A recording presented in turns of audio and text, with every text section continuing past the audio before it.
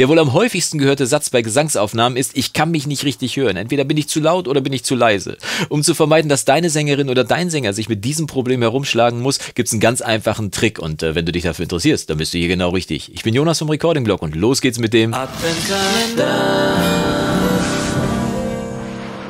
Tag und schön, dass du wieder eingeschaltet hast zu einem weiteren Video im Recording-Blog Adventskalender 2019 und Gesangs- und Stimmaufnahmen gehören ja bekanntlicherweise zur Königsdisziplin im Tonstudio. Wichtig ist, dass man aber auch weiß, dass eine gute Performance von Sänger oder Sängerin vorm Mikro immer auch damit zusammenhängt, dass beide sich sehr, sehr gut hören können und zwar in allen äh, Disziplinen von ihrem Gesang, denn die Stimme ist ja ein sehr dynamisches Instrument, will sagen, wenn man leise singt, muss man sich genauso gut hören, als wenn man laut singt, damit man auch die Kontrolle immer über die Stimme behalten kann. Äh, beim Eingang äh, kann man natürlich beim Aufnehmen dafür sorgen, dass man mit einem starken Kompressor dafür sorgt, dass die Dynamik komplett eingefangen wird beim Gesang. Das Blöde ist nur, dass dieser Kompressor dann natürlich auch mit aufgenommen wird. Man hat also kein äh, völlig cleanes, sauberes äh, Signal auf der Festplatte, das man dann später frei nachbearbeiten kann.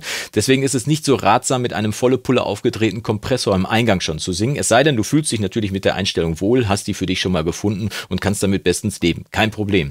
Wenn du aber dieses unbearbeitete Signal haben möchtest, dann musst du dich eines Tricks behelfen, der zum Beispiel in äh, Studio One hier ganz einfach umzusetzen ist. Und das Stichwort sind virtuelle Eingangskanäle. Will sagen, man kann hier Eingangskanäle im, äh, in der DAW anlegen und äh, kann dann verschiedene Eingangskanäle nehmen, zum Beispiel einen mit Plugins und einen ohne Plugins, den mit Plugins, dann mit Plugins, damit man sich gut hören kann und einen ohne Plugins, mit, äh, damit man eine saubere Aufnahme hinkriegt. Und das Ganze teilt sich dann aber trotzdem physisch denselben Eingang. Ne? Wir machen das einfach mal mal mit einem kleinen Rechtsklick hier im, im äh, Mixer auf eine der Spuren kann man hier unten Audio I.O. auswählen und kommt dann in den Bereich, wo man sich verschiedene Eingangs- und Ausgangskanäle anlegen kann, eben auch virtuelle.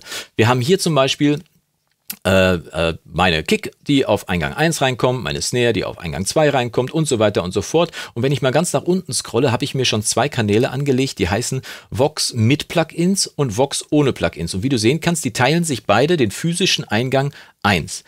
Jetzt habe ich die hier angelegt, falls du dich fragst, wie ich das gemacht habe. Ich habe einfach hier auf Mono hinzufügen geklickt und habe dann hier auf dieses Kästchen geklickt, wo ich dann den Eingang 1 quasi für diesen einzelnen Kanal ausgewählt habe. Wie gesagt, zwei Kanäle anlegen, einen mit und einen ohne Plugins und habe das dann schon mal fertig gemacht. Dann muss ich noch zwei Eingangskanäle hier in meinem, äh, in meiner, äh, in meinem Arrangement aufmachen.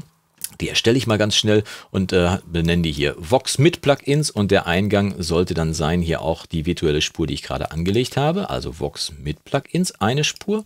Und ähm, nach unten schieben hier.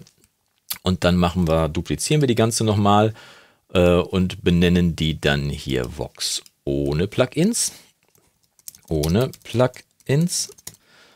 Und geben der den passenden Eingang, den ich gerade dann dafür schon angelegt habe, nämlich Vox ohne Plugins. Jetzt wirst du dir die Frage stellen, hm, der hat doch noch gar keine Plugins irgendwo reingeladen, wo will er die denn anwenden? Ganz einfach, ich schalte mal kurz äh, hier auf die, An äh, auf die Ansicht äh, meiner Eingänge.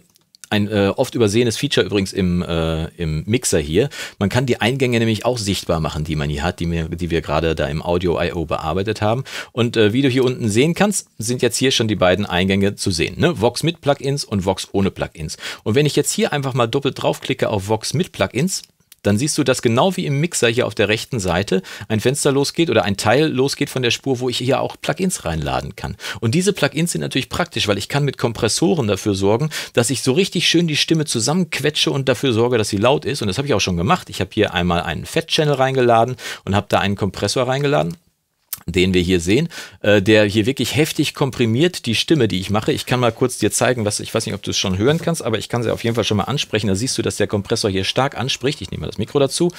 Eins, zwei, drei, vier. Siehst du, der schlägt richtig fester aus, komprimiert also das Signal richtig stark und holt auch hier im Make-up-Gain richtig fett auf ähm, und macht das Signal richtig laut. Und damit es dann nicht übersteuert, habe ich es dann noch hier in einen Limiter reingejagt den ich mir hier auch zunutze mache.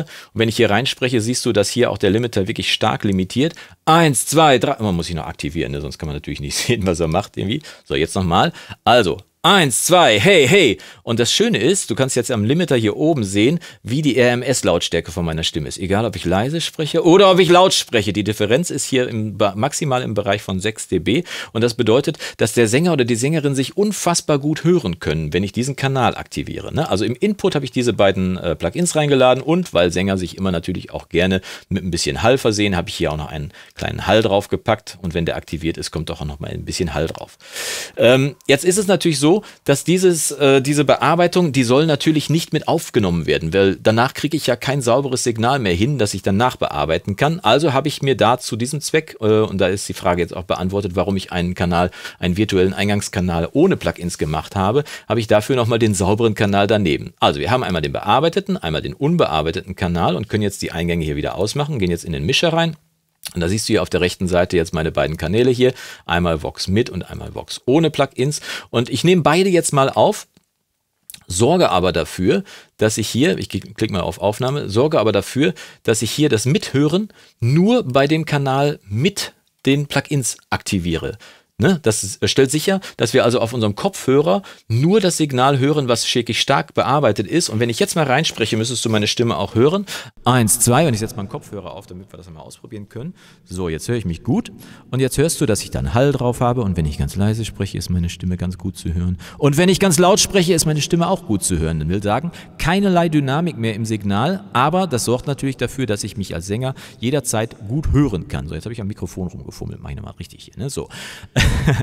und jetzt machen wir mal eine Testaufnahme und wichtig ist, dass du, äh, wenn du deine Aufnahmen machst, dass du das nicht wichtig zwingenderweise mit aufnehmen musst. Das Signal von diesem hochkomprimierten äh, Kanal brauchst du nicht mit aufnehmen. Das heißt, bei deiner Aufnahme kannst du hier ruhig den Aufnahme Mithören nicht vergessen. Kannst du den Aufnahmeknopf hier ruhig wieder ausmachen, musst es also nicht mit aufnehmen. Ich nehme es jetzt aber trotzdem mal mit auf, damit du genau sehen kannst, welches Signal hier auf diesem virtuellen Kanal reinkommt und welches auf dem anderen reinkommt. Wir machen mal kurz eine Testaufnahme. Ich bin gut durchgekommen, hab alles mitgenommen, was das Leben auch für mich immer bereithielt.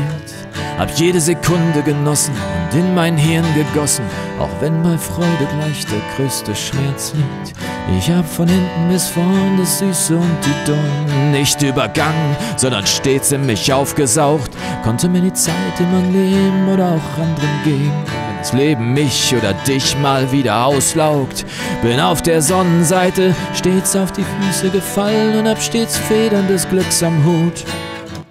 So, du hast gesehen, ich habe furchtbar dynamisch eingesungen. Das war jetzt natürlich nicht zielführend für den Song, aber ich habe dafür gesorgt, dass ich laute und leise Passagen in meiner, meiner Aufnahme drin hatte. Und trotzdem konntest du verfolgen, dass der Sänger, also in dem Fall ich, dass ich mich jederzeit gut hören konnte und volle Kontrolle über meine Stimme hatte. Und man kann es hier am Signal auch sehen, was dann da aufgenommen wurde. Ne? Hier sind die dynamischen Passagen, die lauten und die leisen. Und du siehst darunter, hier ist das äh, Signal aus dem virtuellen Kanal ohne Plugins, das ganz normal aufgenommen wurde und wirklich ein blitzsauberes, sauber eingepegeltes Signal hat mit dem ich jetzt jede Nachbearbeitung machen kann, die ich mir wünsche. Und darüber ist das natürlich völlig hochkomprimierte und nicht brauchbare Signal, was ich gehört habe. Aber du siehst schon, wie gering die Dynamik hier gewesen ist. Äh, man sieht also genau, dass ich mich wirklich gut gehört habe und zwar egal, ob ich laut oder leise gesungen habe. Und das hat dafür gesorgt, dass ich eben dafür, äh, dass ich wirklich eine gute Performance im Zweifel dann vor Mikro ablegen kann. Egal wie laut oder leise das Playback ist und egal wie laut oder leise ich singe, ich höre mich immer perfekt.